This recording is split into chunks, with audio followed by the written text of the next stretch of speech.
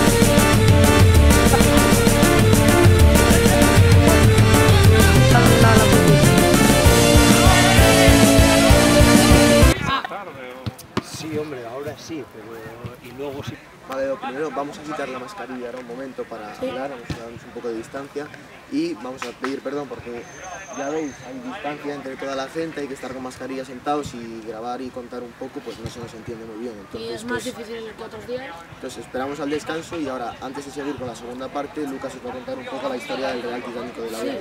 Bueno, año pasado han ascendido de primera regional a tercera división y aquí están disputando un partido de pretemporada contra el Real Oviedo B, también conocido como Real Oviedo Vetusta, en el que el encuentro va 0 a 0. El Real Titónico de la Viena, a pesar de ser un recién ascendido y jugar contra un equipo de una categoría más, está aguantando bien el tipo y está jugando un gran partido, mientras el Oviedo B o Real Oviedo Vetusta tampoco ha conseguido generar importantes ocasiones.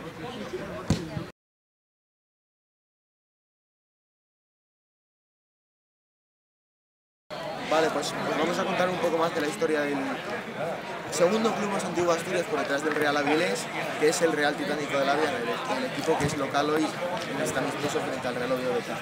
Club fundado en 1912, 108 años de historia, centenario en 2012, el Real Titánico de la Viana es uno de los clubes más hon- honestos, modestos de Asturias, más típicos. Sí. También cabe destacar que es un club que se ha jugado siempre entre tercera división y, categorías eh, inferiores como regional, eh, preferentes, y no ha subido nunca a segunda B a pesar de haber disputado alguna promoción de ascenso, por ejemplo conocidos equipos como el Rayo Majadahonda.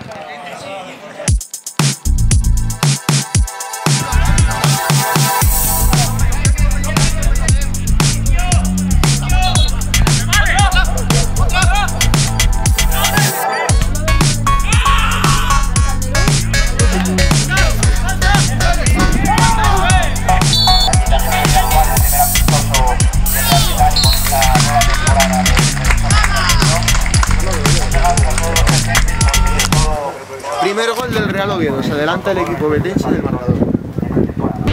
A ver partidos.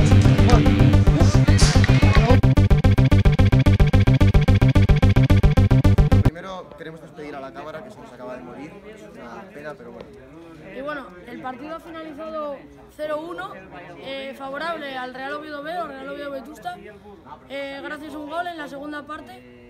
Sí, a pesar de la diferencia de categorías y que el Real Titánico es un recién ascendido a la tercera división del fútbol español, ha sido un partido muy igualado en la que por un gol solo se ha decidido el marcador. final. Sí, y el Titánico ha conseguido plantarle cara como si fuera de la misma división al Real Oviedo B. El Oviedo B Todo un filial club. sí, todavía le queda bastante trabajo de aquí al inicio de la liga.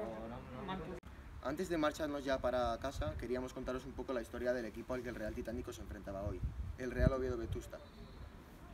Bueno, el Real Oviedo Vetusta es un club que ha militado sobre todos sus partidos en la segunda división B últimamente.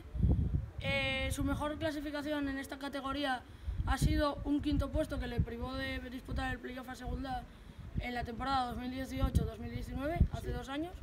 Y Y también ha pasado por épocas en las que por culpa de su equipo total, porque es un filial, el Real Oviedo cuando estuvo en tercera división no pudo inscribirse en una categoría profesional En 2002. y tuvo que ser de alguna forma, no refundado, pero volver a competir cuando ya el Real Oviedo empezó a ganar categorías y empezar a ganar logros. que fue tres años después cuando por fin se pudieron inscribir en la segunda regional.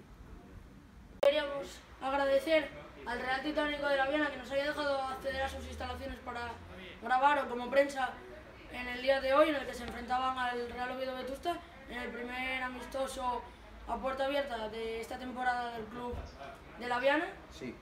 Y al fin y al cabo ni nos han hecho pagar la entrada, eh, ni nos han hecho marchar ahora, porque estamos solos ahora mismo en el campo. Nos ha dejado Nos han grabar dejado grabar todo lo que queramos, sí. una accesibilidad increíble y una amabilidad que le vamos a agradecer al club. Y bueno, yo me llevo de recuerdo esta camiseta del Titánico de la Viana, que se lo agradezco mucho, es muy bonita. Y bueno, la guardaré siempre.